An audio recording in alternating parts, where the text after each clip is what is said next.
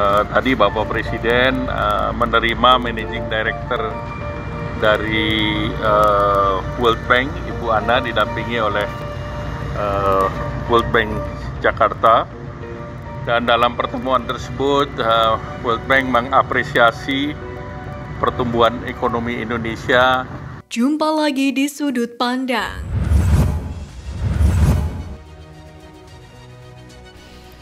Wali Kota Semarang yang merupakan kader PDIP Hefearita Gunaryanti Rahayu diduga terlibat dalam kasus dugaan korupsi. Menanggapi hal ini, politisi PDI Perjuangan sekaligus mantan Gubernur Jawa Tengah Ganjar Pranowo menyebut, Mbak Ita sapaan akrabnya yang juga kader PDIP akan mendapatkan bantuan hukum dari partainya. Hal itu juga ditujukan agar PDIP mendapatkan informasi yang jelas terkait kasus yang menjerat kadernya itu.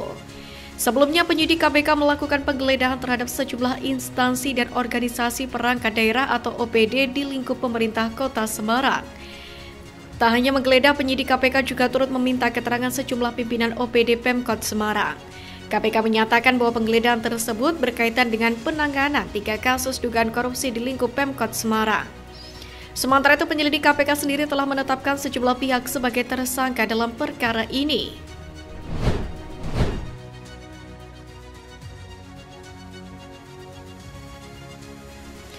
Pansel calon pimpinan dan Dewan Pengawas KPK telah mengumumkan nama-nama yang lolos tahap pertama. Bersama dengan hal ini, mantan Capres 2024 Mahfud MD bercerita, yakni tentang suap dalam seleksi Capim KPK. Mantan Capres 2024 Mahfud MD ini bercerita pernah ada calonan pimpinan KPK yang mencoba untuk menyogok anggota Komisi 3 DPR RI. Hal ini terungkap dalam siniar Mahfud Channel yang tayang pada 24 Juli.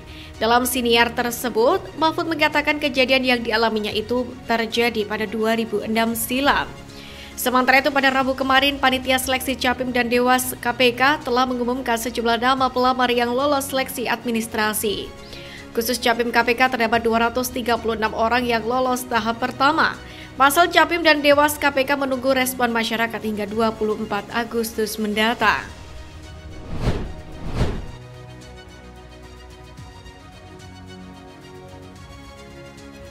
Juru bicara Menteri Pertahanan Prabowo Subianto dan Hil Ansar Simanjuntak menyinggung pihak yang mengaku oposisi tapi justru mengincar jabatan kepala daerah dan menunggu tawaran. Dan Hil menilai posisi kepala daerah adalah perpajakan tangan pemerintah pusat. Dan Hil menyayangkan ada pihak menggunakan jabatan kepala daerah hanya untuk sekedar terlihat asal beda. Menurutnya oposisi yang tepat berada di luar pemerintahan atau menjadi anggota parlemen. Dan Hin kemudian mengapresiasi Ganjar Pranowo serta Mahfud MD yang sejak awal memilih menjadi oposisi setelah kalah di Pilpres 2024 kemarin. Dia menilai mereka tidak merangkai kata-kata agar berharap ada tawaran-tawaran.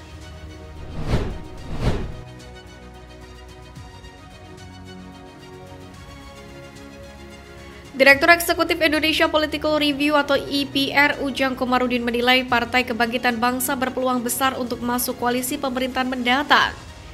Ujang Komarudin menilai tidak hanya PKB, partai lain yang sebelumnya tak mendukung Prabowo Gibran pada Pilpres 2024, seperti PKS serta P3 juga mulai memberikan sinyal keinginan untuk bergabung dengan pemerintahan.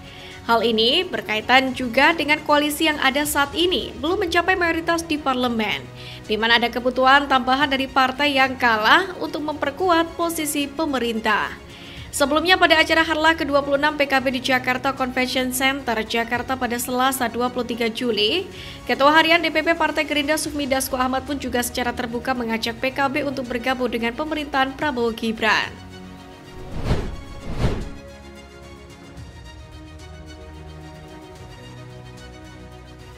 Kementerian Pekerjaan Umum dan Perumahan Rakyat atau PUPR mengungkap progres pembangunan infrastruktur dasar Ibu Kota Nusantara yang mengalami kemajuan cukup pesat menjelang upacara HUT ke-79 kemerdekaan Republik Indonesia. Adapun berdasarkan rencana yang telah disusun, seluruh gedung Kemenko sudah bisa dioperasikan secara fungsional di bulan Agustus 2024 dan akan digunakan untuk mendukung kegiatan upacara 17 Agustus. Jelang hari sakral ini, ribuan personel juga dipastikan akan melakukan pengamanan di wilayah ibu kota Nusantara. Kodam 6 Mula Warman melaksanakan operasi pengamanan wilayah atau PAMWIL. Selain itu, 76 siswa terbaik dari 38 provinsi di Indonesia juga telah disiapkan untuk mengibarkan bendera merah putih di IKN.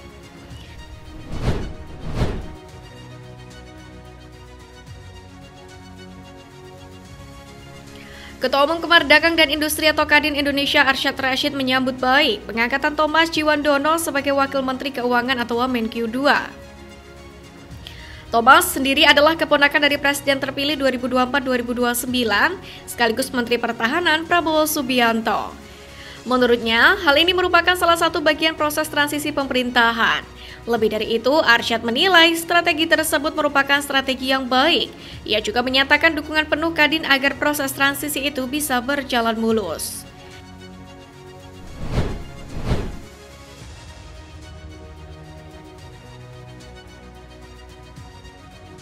Presiden Joko Widodo menerima lawatan pejabat teras Bank Dunia di Istana Merdeka Jakarta pada Kamis kemarin. Rombongan perwakilan Bank Dunia yang menemui Jokowi kali ini adalah Direktur Pelaksana Operasi Bank Dunia Anna Berde. Ia didampingi oleh Kepala Perwakilan Bank Dunia untuk Indonesia dan Timur Leste Caroline Turk.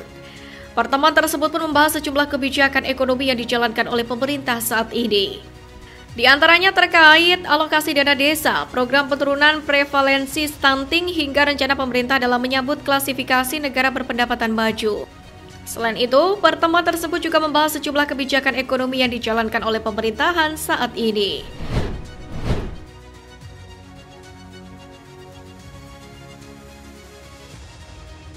Menteri Pertahanan sekaligus Presiden terpilih Republik Indonesia masa jabatan 2024-2029 Prabowo Subianto mengadakan pertemuan dengan para pimpinan perusahaan besar di Prancis yang berada di bawah naungan Kadin Prancis kemarin. Pertemuan itu merupakan bagian dari upaya berkelanjutan untuk memperkuat hubungan ekonomi antara Indonesia dan Prancis. Sejalan dengan pembicaraan sebelumnya antara Prabowo dan Presiden Prancis Emmanuel Macron di Istana Elysee Paris yang juga menekankan perlunya memperkuat hubungan bilateral dalam berbagai bidang termasuk ekonomi serta pertahanan. Dengan adanya pertemuan ini diharapkan hubungan ekonomi antar kedua negara dapat semakin erat dan memberikan kontribusi positif.